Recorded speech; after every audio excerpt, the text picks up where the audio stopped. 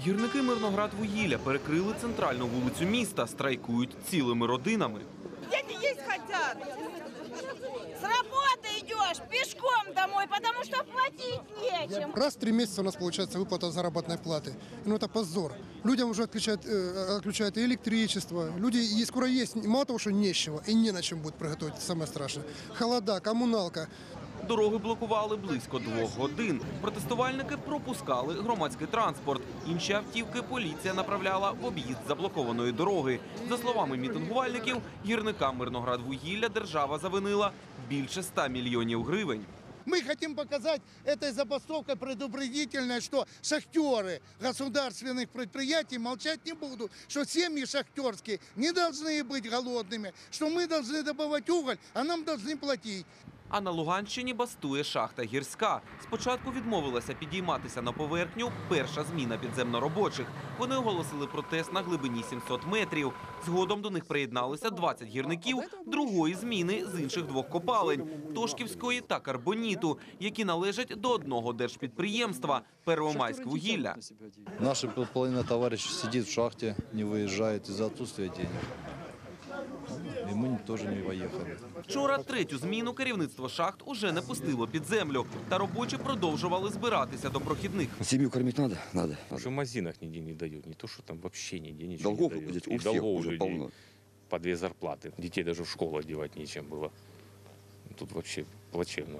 Людям свет отрезают за неуплату.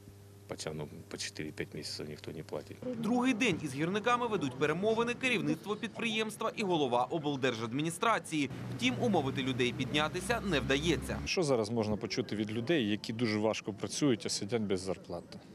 Звісно, що вони обурені. Звісно, що там межа критична. Я їм пообіцяв, що якщо на наступному тижні нічого не буде, я сам з ними спущуся в запій.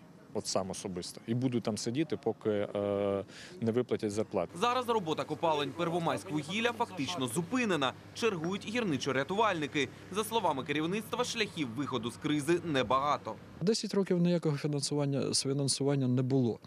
Шахтарям, шахтарі бастували, шахтарям давали заробітну платню, а на техпереоснащення гроші не виділялися. І тому у нас немає можливості заробляти. Ми зараз розробили програми. Якщо нам дати ці 900 мільйонів, через півроку ми будемо приносити прибутки при державі. Але цього поки що не роблять. Борги гірникам уряд обіцяє виплатити цього тижня, максимум наступного. За словами чиновників, кошти з резерву застрягли десь на шляху. Та шахтарі кажуть, уже чули такі відмови, тому й не йдуть на поступки, пояснюють у профспілці. Вони сказали, поки не прийдуть гроші, ми з шахти не вийдемо. Оце таке. І так на гірській, і так на Тошківці, і так на Карбоніті.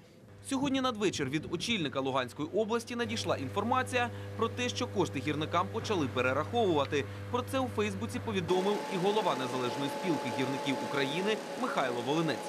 Максим Кондратенко, Олена Успенська, телеканал Донбас.